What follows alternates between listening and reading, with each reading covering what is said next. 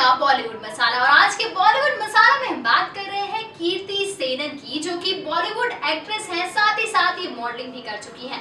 इन्होंने अपने पहले एक्टिंग डेब्यू की स्टार्टिंग हिंदी मूवी से की थी और इन्हें उसके लिए बेस्ट डेब्यू फीमेल अवार्ड भी मिल चुका है। इसके अलावा ये और भी कई सारी मूवीज़ कर चुकी है और ये हीरो पंथी जैसी मूवी से फ़ेमस हुई थी। और आप इन्हें आने वाले दिनों में हाउसफुल फोर जैसी मूवी में देख सकते हैं। तो हम आपको दिखाने जा रहे हैं कीर्ति हॉट शूट्स सिर्फ़ और सिर्फ़ घमासान पर।